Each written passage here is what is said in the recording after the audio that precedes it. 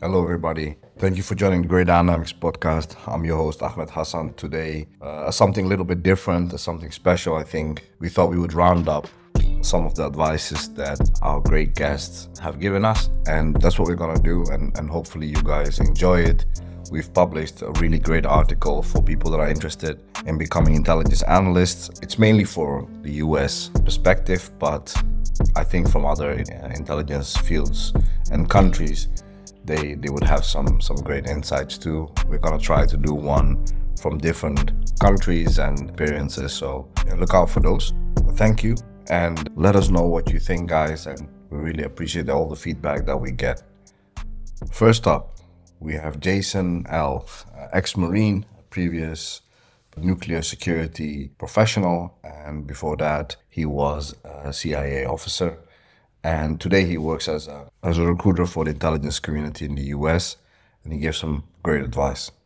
So I would say two things. The first thing would be if you are a person who's of strong moral character, strong integrity, you know, that sort of thing, keep that no matter what, at all costs. Keep that because that is going to be, I would say, that would be, in my experience, the thing that washed out probably 75% of the people who I know of who washed out. It was usually an integrity issue or a character issue. If that's kind of person you are, maintain that at all costs, you know. And the other thing would be be curious about the world that you live in don't bury your head in the sand because that's another thing that a recruiter, an uh, IC recruiter is going to look for is they're going to know, do you know what's going on in the world around you right now? The agency, when I applied, they asked, you know, hey, you know, can you tell us something that's going on right now in one of my interviews? You know, what's what's a big thing in the news? And it didn't matter. I could have said something about sports. I, they just mm. want to know that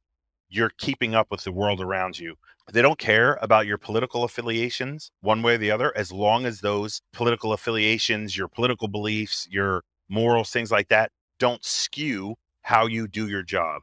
As long as it's, you know, that sort of thing. You might not like whoever the, the president is at the time or whoever's in, you know, Congress or the budget like that. You might not like them, but who cares? That's not, that is not, should not affect your job. So they're going to want to see those things. They're going to see that uh, they want to see that you can be um, morally not morally ambiguous but you can have your morals you can have your strong morals and you should you know have those things but as long as those things don't cloud your judgment and the way you do your job and then as far as like your criminal background is concerned if you don't have one don't start one if you do have one put it in your past and work to keep it there because again there are many things on the list of what the at least the agency considers that they will be able to work with. Mm-hmm. What they are, I can't say. I don't know exactly, and probably wouldn't say because yeah. I mm-hmm. don't want somebody saying, oh, "Okay, okay, now I can go rob a bank and I'm fine." Yeah. but as long as it's not a repeated pattern and a history, because again, that speaks to your character, you should be able to be. You should be okay. And if you're associating, even if you're not, you don't partake in those things. If you hang out with people who do, they're going to find out. And that would be enough to for them to say no thanks because again that speaks to your character you know mm. so i would say long story short keep up with the world that you live in and be be able to speak about what's going on you know give your opinion because that's a part of intelligence reporting is you report the point in that process especially as an analyst you're going to be asked to give your opinion on why you think such and such happened or this world leader said what they said. So be prepared to give your opinion as well as the facts and just keep your nose clean. And if this is what you want, then push for it. You know, yeah, let the agency or let the IC tell you thanks, but no thanks. Don't let anybody else dictate that for you. Ah, you don't want to do that. You don't want to go work for you know, for the government. Our government's corrupt or such and such is in office right now. You don't want to go work for them right now because it's not about it's in office. It's about the agency that you work for and the job that you're doing. That's that's it. Fair enough. And is there anything that you could say? I mean, I think the two these two are very important as you stress them. Is there anything that you could like train yourself, maybe read or that, that you came across and say, hey, that that's a skill set or or or that's something that that is practical that you could practice for like like languages, for example. Okay, so I'll start with that first. So languages, you do not run out and buy Rosetta Stone and think that that's going to get you. Mm-hmm. Absolutely, it's a bonus if you do, and if for for certain jobs the you know they may require that you pick up a language, which they will train. They will give you that training once you're on board. If you can't get it before you on board, so but if you're interested in the language and you're you know far enough out, you're young enough that you can pick up that language before you apply, do it. I would encourage you to do it. When I was in college, I didn't speak any languages until I got to college. Then I studied some Egyptian Arabic. And then living in Japan, I picked up some of it horribly in both cases, but I still picked up some. But you can actually monetarily, you can you can be awarded bonuses for speaking and writing and reading at a certain level. You'll Yeah. test. And if you depending on how high you score and maintain it, you could get a lot of money for for for that sort of thing. But the other thing I would say is one of my regrets coming on board to the agency was not reading more about the agency's history and their mission. So if you have an IC agency that you are interested in, read about them. You know, the good, the bad, and the ugly. Just read all about them as much as you can so you have a better understanding of what it is you're walking into, whose shoes you're about to fill, so to speak. I would say that if you're interested in a certain area of, let's just say, political science or, you know, world affairs, whether that's China or Africa or counterproliferation or something like that, read up on those things, study on those things. Just know that that may not be where you end up. Because Mm. just like in the military, there's that saying the good, the needs of the service. You could on board with it in your head that you're going, hey, I'm going to, you know, the China desk. That's where I'm going to sit. East Asia Division, I'm going to sit in the China desk. This is what I've been studying all my life. And they're going to be like, you speak German, right? Yeah, I do. Well, guess where you're going? You know, so you just don't know. You know, they're Yeah. going to try to use the skills that you have. If they're, you know, through the interviews, they're going to find out that, hey, I studied a lot on China. I'm very interested in that. And they're going to try to steer you that way. But if at the time the need is for X and you studied Y, well, you might go to X first, work there for a little bit, and then bounce back over to Y. You just have to be fluid. Cool. Oh, and also, sorry, last thing would be your uh, writing skills. Writing Mm. skills are important. If you're not a very strong writer, work on it. And one Yeah. of the things that a recruiter, I've always been a strong writer, which I think that's because of my parents. They were very big on that. But a recruiter, one of the uh, tips that they gave me for someone who's not is every day or every couple days or a couple times a week or whatever, watch something on the news, look up something on the internet or read a newspaper, and then take whatever that is and write write it out. Like, hey, this is what I looked at today. This is what I saw on the news today. Write out the facts, first of all, because that's the most important, quote unquote, part of an intelligence report, the facts. Then underneath that or on a separate page, write your opinion on it. You know, oh, you know, I think that this world leader said this because of this, or these events happened because of this, in my opinion, because that's just as important as the facts. So, yeah, so definitely your writing skills. It's a whole nother world. Uh, These are not college papers you're writing. So, the format that you're writing these reports in is, it was unlike anything I'd ever seen, but I was good at it. So, helped. Yeah, that's an excellent piece of advice. I mean, uh, I see this all the time with young people coming out of school. It doesn't matter, top schools around the world. And the first thing they hit their head on is writing because they can write beautiful essays. But when it comes to writing reports, straightforward, hmm you know, don't mess Yep. about, don't waffle around. Yeah. That's where everybody struggles. And I mean everybody. Doesn't Yeah. matter how smart you are. Mhm. If you've never done it before, yeah, that's a huge one. And and Yep. I think also for us, something we pride ourselves on to Absolutely. on when we have new people or interns and with the training, same way. To to get that to a point that you're confident and and people giving you an assignment can be confident in your writing. Yeah, that's it. And it's got to be uniform. It's got to be everybody has to write the same way because the person that's going to end up reading this stuff and possibly using it to formulate policy or, you know, whatever, there can't be any room Mm. for variation. It's got to be the same because, especially if it's going in the PDB, the president's daily briefing, they just peruse through that thing. So, and most of them don't read it themselves. I believe. I believe they're, you know, it's a uh, a briefer who does it for them, but it's got to be succinct to the point, and these are the facts. You know, so that's how you need to learn how to write. So uh, yesterday you and I you and I talked about this that you have a couple of years left. What are the what are the plans after you leave government? Yeah, I'm about five years from retirement. Once I'm done doing that, my wife and I's plan on a personal note is to uh, buy the biggest RV because she's not a camper at all. So and she's giving me a dirty look right now because uh, she, you know she wants one where she can do everything in it. You know, she could shower, whatever. You know, the only time she needs to wants to go outside is to, I guess, look at the weather or something, and then travel, just travel around. And then also because I'm retired from the Marine Corps, we can fly what's called Space A, space available. So we can go to just about any military base, uh, air base, and if they have flights going out and they have room on it, pay a small fee, hop on board, fly to wherever that plane is going.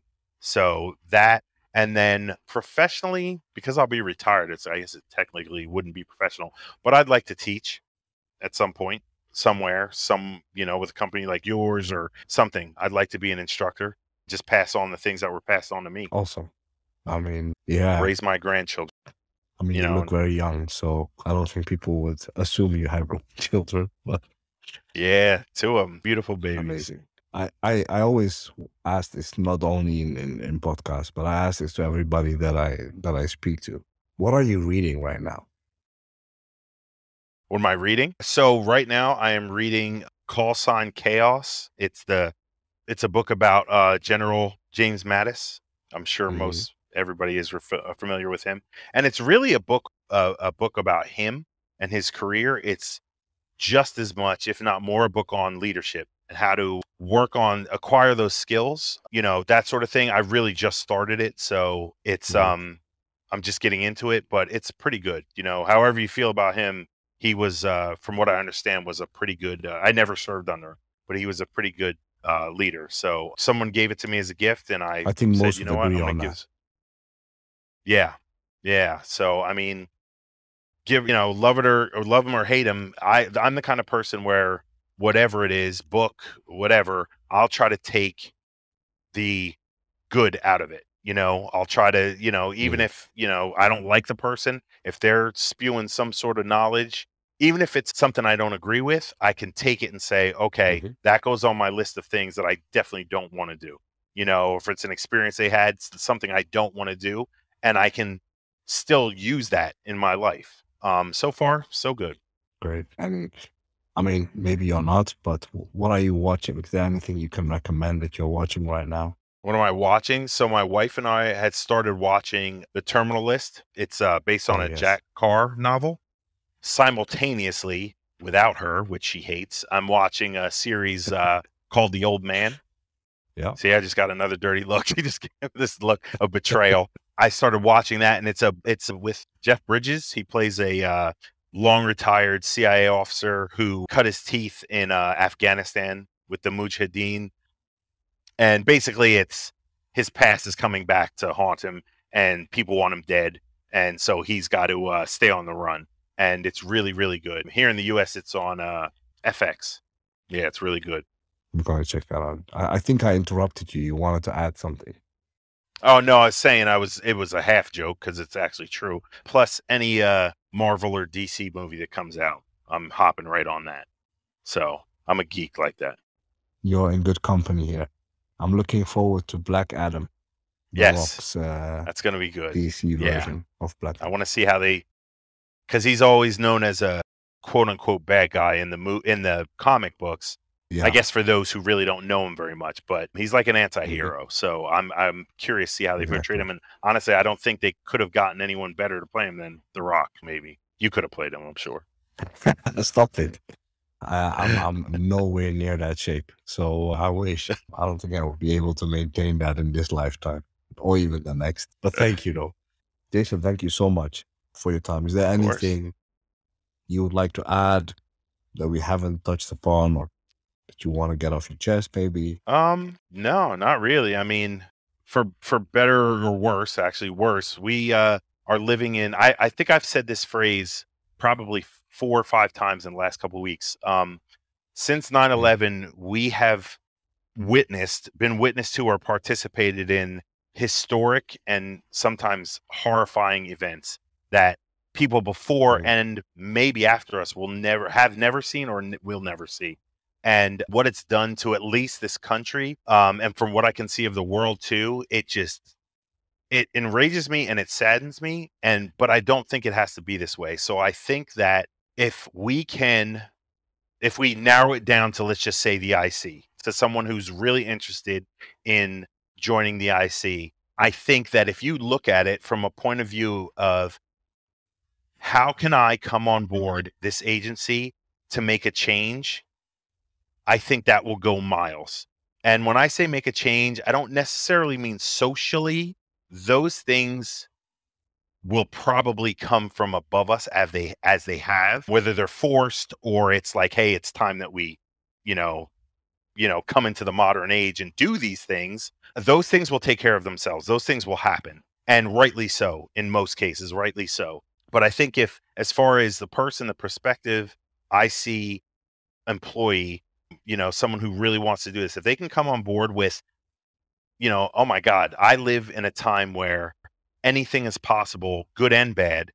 What am i going to do to influence those things for the good you know to make those changes?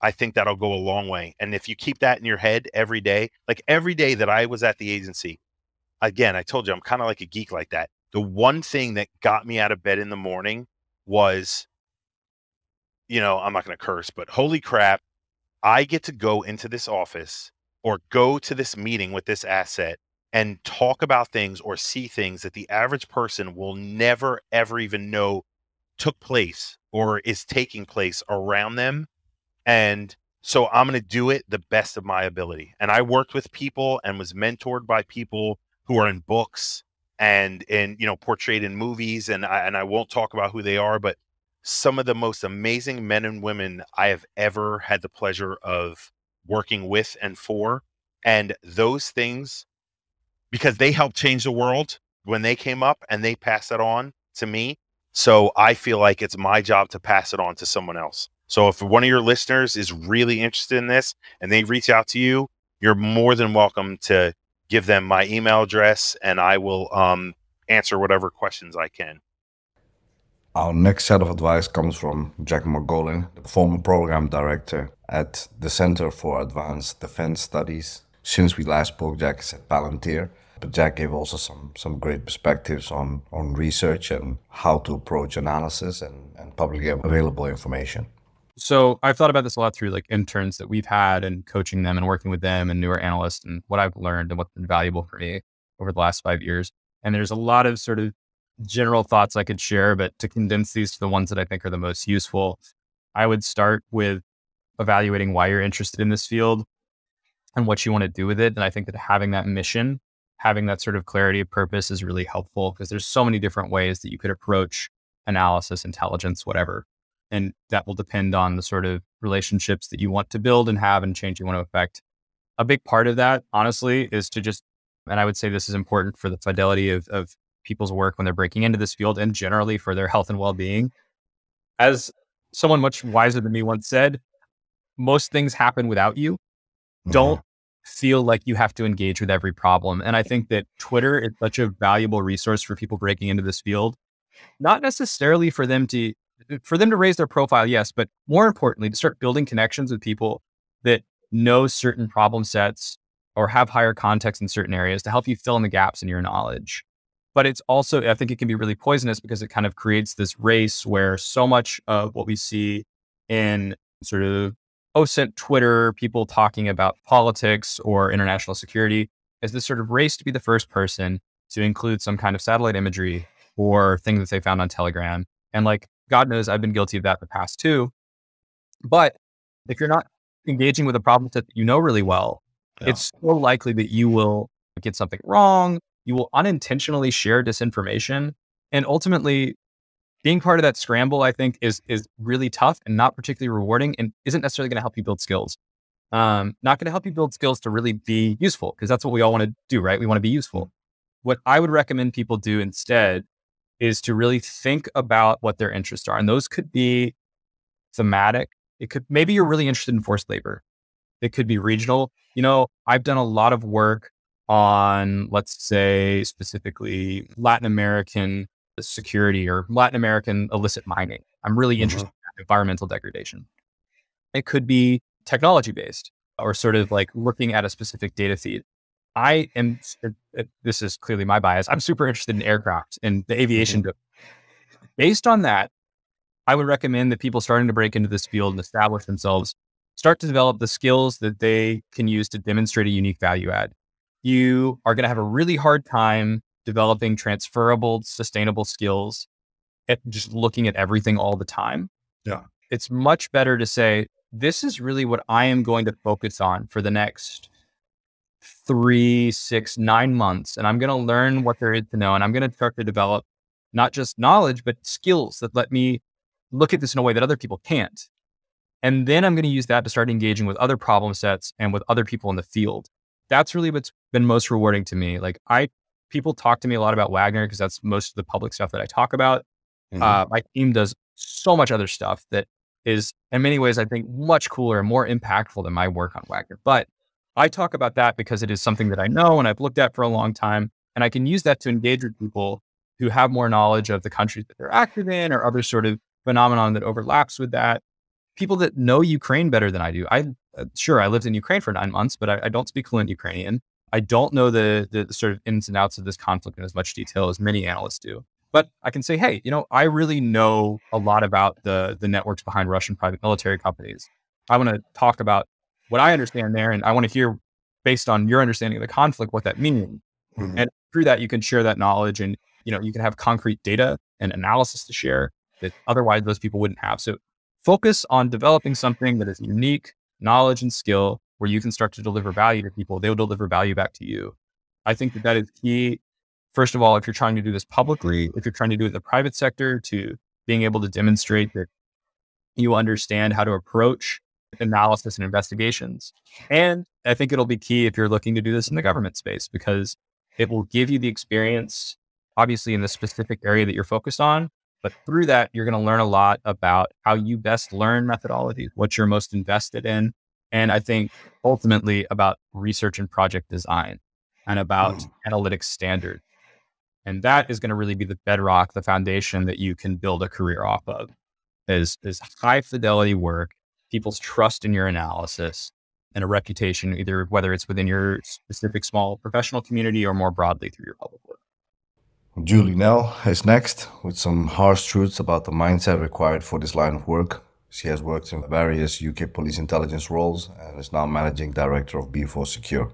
Understand the type of personality you are. You have got to be incredibly tenacious, self motivated, and have a real problem solving mind. If you're not those three things, you're not going to you're not going to survive or you're not going to be decent at, in the intelligence field and the reason being is because you're constantly hunting for something and then the problem solving bit is making those links and being able to answer the so what's of what those links so it's no good just you know mm-hmm. trawling mm-hmm. through cutting and paste cut and paste cut and paste there you go that's everything we found on joe smith well, that's, well, what does it tell me then? Mm-hmm.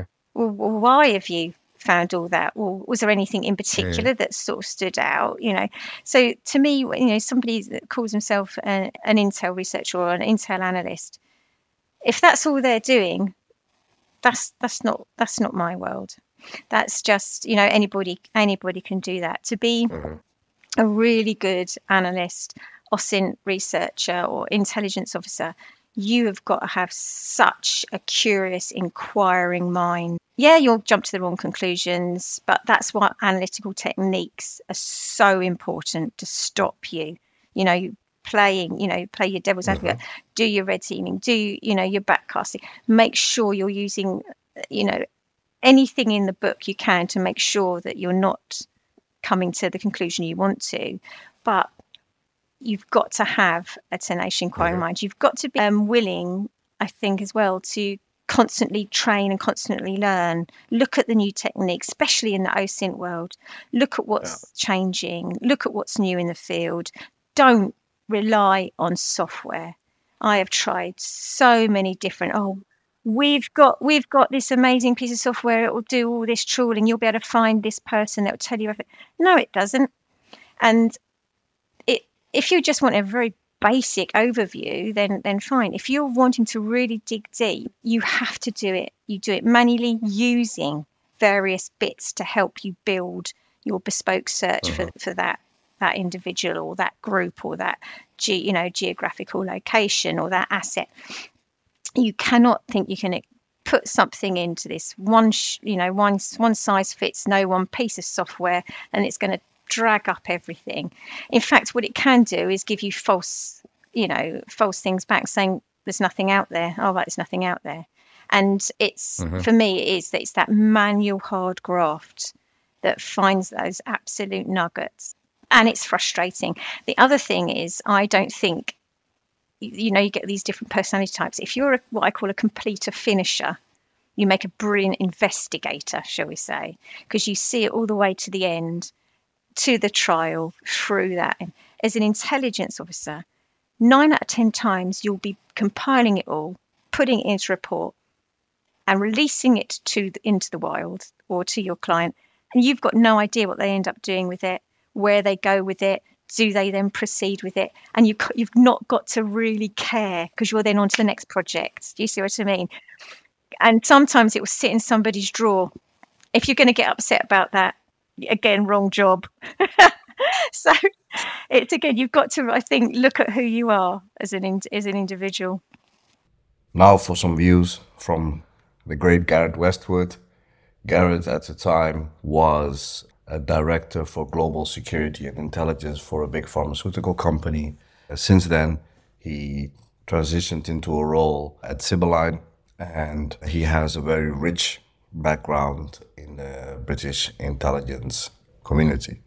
there's lots and lots of things I could say, depending what you want to go into. And you know, learning a language is always great. Having been technologically very savvy is awesome. There's, you know, some great, I say cyber in inverted commas, qualifications out there like the CompTIA Security Plus that is just good to have because these days, even if you're not in a cyber role, you know, having an appreciation of, of IT and, and the cyber landscape is is prudent. But hey, some people, you know, that's, that's not an essential. I'd say be very interested in the world around you. That's that's going from the kind of precise to really quite vague, and take a deep inst- interest in international affairs. I mean, the corporate, right? So corporate intelligence or or kind of public sector, the security landscape, job landscape is wide, and you you know it goes from investigations, due diligence, all the way to kind of global risk, and it's uh, it, and and it's hard to make a decision what you want to go for unless you know. And and actually, for a young professional, you want to be able to put your net really your net really wide. So you want to one wants to be able to do you know a, a CV, a resume, one minute for corporate intelligence, uh, and the next minute for a global risk, you know, embed position or global security operations center position. So, what are the things that unite them? Get on an OSINT course right? Because actually, whether you're doing global risk or whether you're doing kind of inves- investigations, a, good appreciation of how to do open source intelligence gathering, the tools out there is really great. Okay, so get on. there- There's lots of free stuff out there. Some of the stuff is more geared towards cyber, and some of it is geared more towards global risk. I've already said about understand the world around you. Get on the podcasts. I mean, you know, long as I, I can't, I, I've got the time to read however many different newspapers each day now but i would definitely get on the podcast scene look at look at all the all the, most of the suppliers and resources that i mentioned earlier have a some kind of podcast going on you know so whilst Grey Dynamics should be your first podcast that you listen to every week when it's out, of course, definitely Thank look you for at, that. definitely look at all the all the podcasts that I mentioned earlier, all the companies that I mentioned earlier that have a variety of free podcasts, and you can just catch up with the world around you. Also, you know, in the UK, you have I think the Telegraph and the Times and the Guardian, a few others have daily kind of two minute updates as well. Get akin to what's going on around you. I mean, a lot of these positions in the private sector require a degree. You know, many require a master's uh, degree as well. I would say if you're in education, look look to do an internship, look to do some work experience somewhere, because as you know, I, I say to many folks when we're on career advice calls, it's about demonstrating what you can do, not just saying what you can do, but demonstrating the effect of what of your skills. And actually, you can you can do that in academia, but you know, it's better if you can do that in a work environment albeit an internship. If I w- I'd recommend going to the public sector. You can you know you can go straight to the private sector from academia, and many of the suppliers that I mentioned earlier, they they're analysts, you know, straight from you know King's College or UCL or or whatever university. However, as an exponent of it myself, I would advocate public sector experience. You know, look at look at the law enforcement, right? Look at the police. You don't have to be a police officer, but there's in the UK, I know especially, and in the US, there are there are plenty of police civilian analyst jobs. They tend to be more targeted, more more tactical and operational.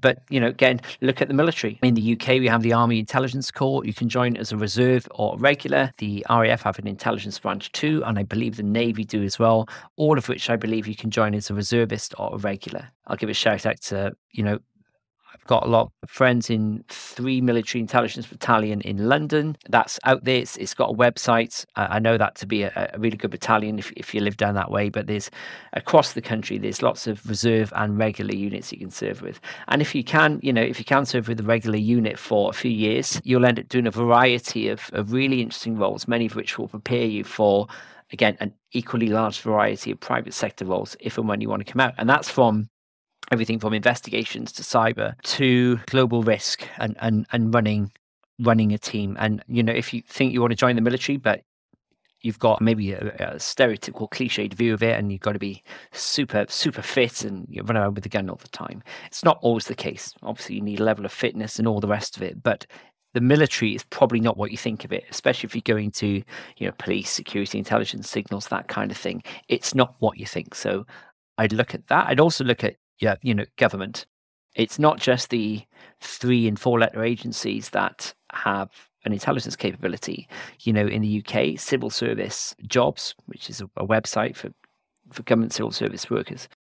If you type in keyword intelligence, everyone from, you know, the charities commission to revenue and customs to information commissioner's office, all these weird and wonderful government agencies that have intelligence capability because intelligence isn't kind of a, a, really secret word anymore okay? There are obviously agencies out there that do things that are very discreet but intelligence these days you shouldn't just see it as kind of uh, top secret james bond stuff. It's not. You know and most agencies have a need to know stuff uh, not just to know information but have that information analyzed by professional and then curated in a way which makes it relevant and actionable for that agency. And that's essentially what intelligence is whether that's business intelligence for a council or a company or you know it's a government agency. So look at government as well. And the final thing i'd say is don't be put off by location. And this is very quickly becoming into a recruitment call but recruitment podcast but don't don't be put off by location because whilst there are obviously agencies in which you need to be in the office either because it's their company policy or because of kind of operational security reasons many many companies and many organizations, even the public sector now offer remote, you know, or semi-remote hybrid working. So look at all of those and apply to all of them. Because if you just apply, you know, if you apply the military, it doesn't come off, you've wasted a year and you've not, you know, so apply for all of them at the same time. Get a police application in, look at the private sector, apply for the military if you want to, look at the government work. Nobody's going to, you know, you're not going to be black marked for applying. It's a bit of work but just apply to everything. And as I said, in the, in the meantime, make sure you have an interest in the world that you're living in. Get technologically aware. I'd say, even if it doesn't push your buttons, get aware of the of what's going on in IT and in cyber. And again, there's many podcasts out there. The Cyberwise is a really good one for lay people. And and and yeah, make sure you keep up with with with world events and and what's going on, and not just not just broadcast media, but long form discussions by experts in the field as to what is going on. And finally, we spoke to our colleague, friend, Marcel Plichta, who is a former DIA analyst, about analysis about how to apply skills and how to apply them most importantly in our daily lives, in our jobs. I mean, my mind, my mind goes to like social media immediately, right? Because that's where there's a lot of like streams of information mm-hmm. and things like that. I think people will talk about like low information people and, and and sites like Twitter, right, amplifying different messages and different takes and things like that. I think the benefit to sort of giving everyday people some of the you know, I don't want tools. Tools makes it sound like a, like it's a, like a program or something, but sort of the the techniques, mm-hmm. right, about thinking, critical thinking about issues, and they, and they don't have to get this from just intelligence people, right? This is something that academia, in its own way, tries to do, and, and journalism, in its own way, tries to do. But thinking about information in like a structured way, and I don't necessarily mean like a structured analytic technique, but like if you see a piece of news, we can use one of the articles I wrote on on Iran Iranian drones going to potentially going to Russia as an example, right? Mm-hmm. If you see that if you see that piece of news, right, Iran is sending hundreds of drones to Russia. You know, you have your you have your knee jerk reaction, right? But if you're trained or if you're just naturally a good critical thinker, which um, I'm very jealous of, you know, you start to kind of break that down. You're like, okay, if this is true, what indications would I look for? You know, if this is if this is true, what what other pieces does anything else contradict this? How credible is this source on this issue? because someone can be an awesome source. Like I'm an awesome source of, well, not awesome, but I'm a good enough source on like Wagner in yes, Africa, right? But if you start asking me about yeah. China, Taiwan, whether or not I'm right, it's more a matter of luck, I guess. Yeah. So, so it's sort of approaching, approaching, especially controversial or political topics in, in a structured way and not necessarily that's kind of knee jerk, automatic, emotional kind of way. I think you get you become a more informed citizen for a start because you start questioning and investigating things and and you become a little bit more resistant to disinformation or misinformation or even stuff that's where the author didn't intend to be wrong right mm-hmm. but you know, if you're a reporter you have a duty to report if Sergei Lavrov says something as a as a journalist you know you, you can challenge that but you also have to kind of say what he said right so so yeah i think i think that's i mean there are other ways but i think that's uh, that's like a really fundamental way because a lot of people will blame the structure of Twitter or Facebook, and that's you know that's fair. Those aren't those aren't perfectly done, but you can mm-hmm. also approach those platforms if you approach those platforms with like stronger critical thinking, a stronger sense of um, how to process information, how to prioritize information. I think you can, as an average person, you can get a lot more out of those platforms. Absolutely. Well said. I mean, I think you're 100% right on that.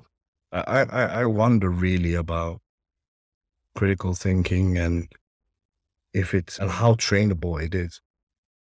Mm.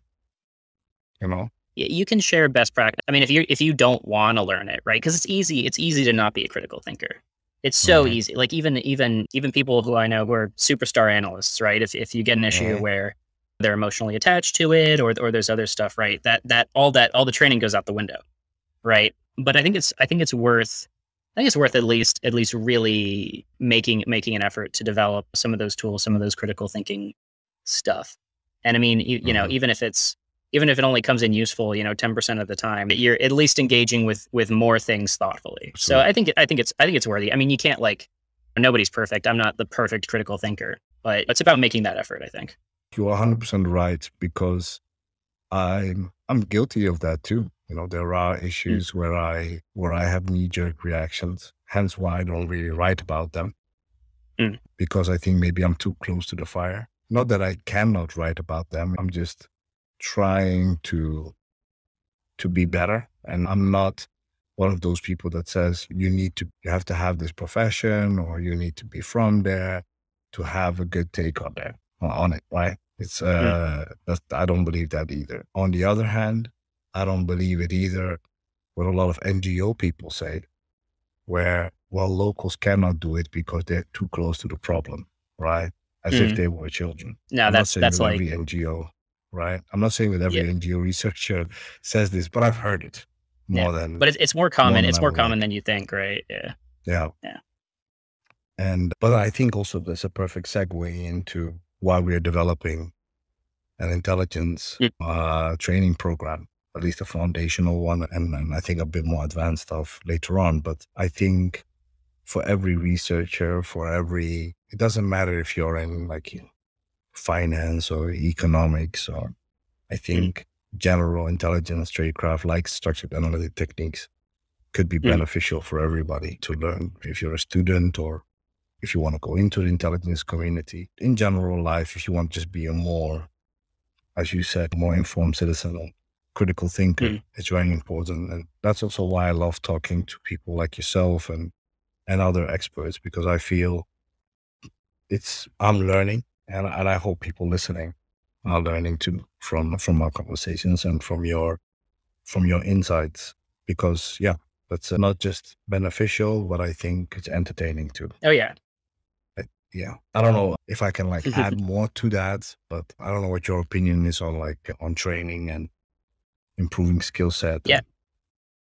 I think well I think you're I think you're right to point to the sort of it's not only useful if you're interested in getting into the intelligence community, right? But there's there's use you can get out of sort of a casual observer. There's use you can get out of out of that kind of training, especially God, like for for people who do like open source Twitter, you Mhm. know, a lot of a lot of those a lot of those folks and and I mean they're they're dedicated and a lot of them produce really good stuff, but it's also there's sort of a challenge there because there's, you know, a lack of structure where, you know, for every for every really awesome, you know, for every Oryx, right? There's like there's like Mhm. 800 you know there's 800 accounts that will they'll put intel in their bio and they'll just be retweeting things sort of on uh, uncritically and stuff like that Mhm. so helpful for those folks and then obviously if you're if you're getting if you're interested in going either into the intelligence community or like in or like commercial intelligence stuff right? I think there's probably you know tens of thousands of intelligence analysts that work for like facebook and amazon and all these like and or banks right? All these companies around the world anything that anyone that runs a gsoc right? And so obviously it obviously helps to have like that those kinds of foundational skills going in there because you know especially in the commercial sector they don't always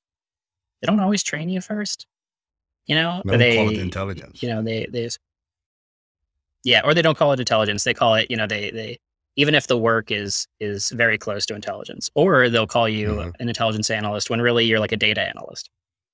Hmm you know so sometimes the roles can be but if analysis is the kind of work you're trying to do regardless it's good to have that that sort of foundational base. Um, and even if like even if you end up going into like dod like i did where they have they have training programs within that called like well they have training programs within that for analysts it, it's good to have that foundational stuff because then you're sort of you're reinforcing good habits um, in that case as well and then and then you're learning sort of the more you're learning how those like fundamental concepts apply to the organization, which I think is often the key thing people miss, right? Like they'll learn an SAT and then they never use it because they don't they don't think about how that might apply to them or you know their organization's output. Guys, thank you so much. This is the last podcast as our normal podcast for the year. There are some bonus episodes coming in the weeks to come. However, for the normal weekly podcast, this is the last podcast. We're gonna come back in season one in January. Please keep an eye out on all our social media and the website where we will announce the beginning of season two. And we hope to see you guys soon. And it was a wonderful ride. And we hope it was as enjoyable for you guys as it was for us. Thank you.